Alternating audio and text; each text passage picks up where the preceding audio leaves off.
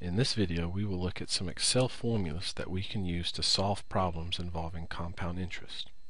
So let's go ahead and open up our Excel file.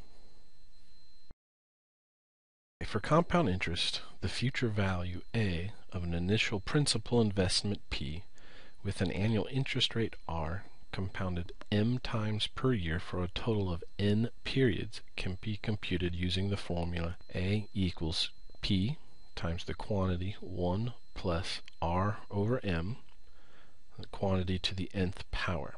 We'll look through four examples here, uh, each example looking at solving for a different variable in this formula. So first let's look at finding the future value A. So what is the future value of an investment of $5,000 earning 4% annual interest, which is our APR, compounded quarterly for three years? Using the formula above, we would have A equals 5,000 times the quantity 1 plus 0.04 divided by 4, and that quantity to the 4 times 3 power.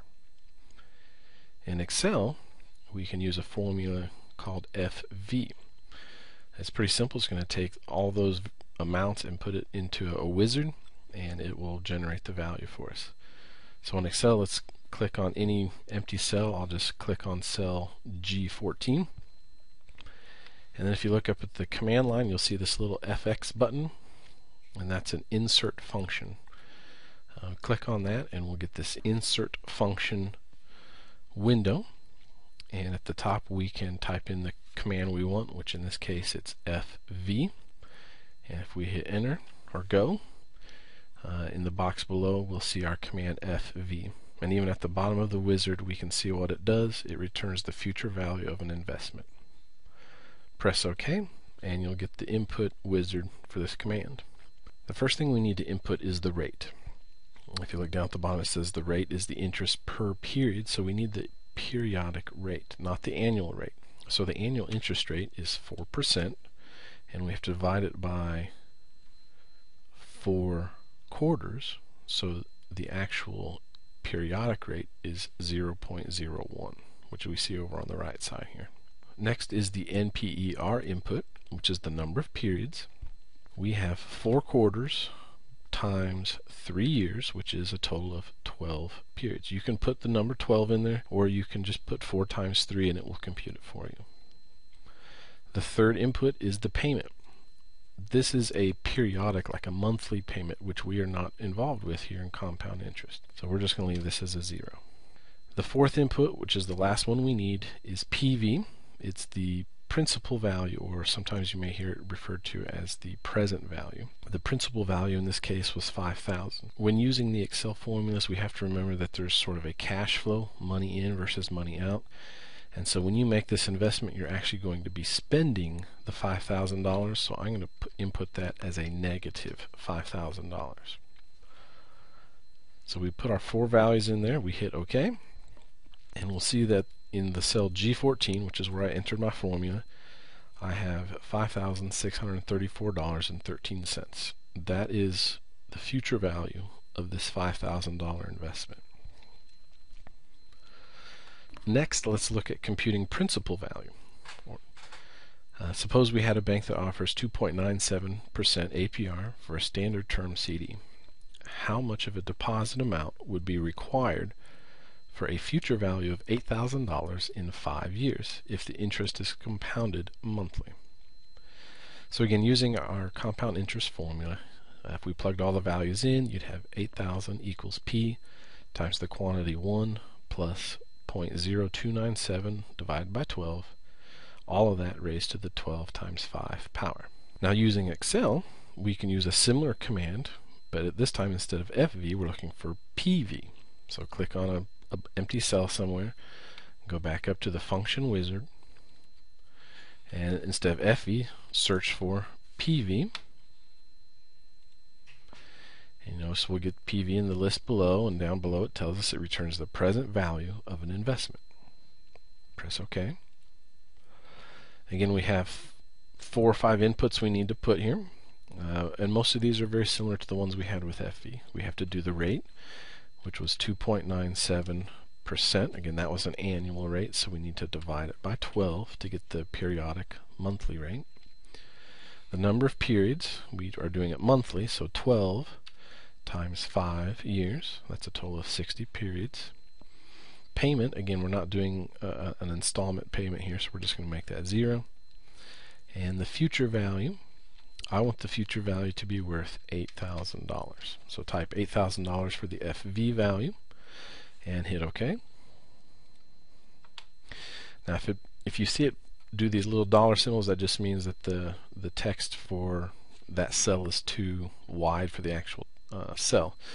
Uh, so we can make the cell a little wider and show our value. So in this case, if we were to spend $6,897.27 in five years, we will get back $8,000. Next, let's look at finding the APR, or R, in the variable. Suppose $10,000 is invested 10 years ago, and it's now worth $15,000. If the investment was compounded monthly, what was the original APR? Plugging our values into the compound interest formula, we have 15,000 equals 10,000 times the quantity, 1, plus r over 12, and all of that is to the 12 times 7 power. Again, we have a similar formula in Excel. So click on a blank cell somewhere, go to the function wizard. This time we are looking for the APR, so we are going to use the rate command. So search for rate, and we get it there. It returns the interest rate per period of a loan or investment. So hit OK. And again, you'll see a very similar wizard with similar inputs. We need the number of periods, which in this case we're doing it monthly, so 12 times 7 years, which is a total of 84. Payment we're not doing, so that's a 0. Present value, or the principal value, remember in this case was $10,000, but that's money spent into the account, so that's $10,000. Don't put any commas in there either. Future value is what we want it to be worth after seven years, and that's $15,000. And hit OK. And we get 0.484%. Now be careful, this is not the annual interest rate. This is the, in this since it was compounded monthly, this is the monthly interest rate. If you wanted the annual interest rate, you'd have to take this value and multiply it by 12. So in Excel, we could maybe go to the, the cell right below, equals, and select the cell where our answer just appeared. So in my case, that's G30, and multiply that by 12. If I was doing this quarterly, I'd multiply it by 4. And so we get 5.8% annual interest. Right, the last example is trying to compute the amount of time it takes, or n in the equation. So suppose we have a bond is purchased for $9,420, and if the bond pays 7.5% APR compounded monthly, how long until its value is worth $20,000? Again, if we put all of our, our, our values into our compound interest equation, we get 20,000 equals 9,420 times the quantity, 1 plus 0.075 over 12, and all of that is raised to the nth power. Now in order to actually solve this algebraically, it's going to require using some logarithms, which is certainly possible, uh, but it's actually a lot easier if we do this in Excel. Uh, click on a blank cell somewhere, go into the function wizard again, and we want the number of periods, which you may have seen this already, is NPER. Press go, and so if you look down at the the hint, it returns the number of periods for an investment based on periodic constant payments. So it returns the number of periods. Press OK. Uh, we have the same inputs again. So the rate in this case was 7.5%. Uh, that's the annual interest rate, so we are compounding this.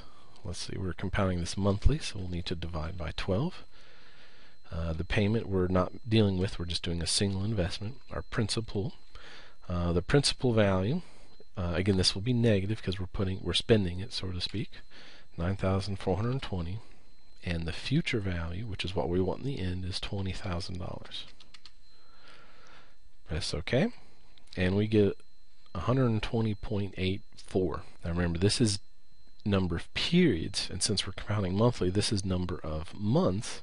So if we want it in years, we'd have to take this value and divide it by 12, since we're compounding it monthly.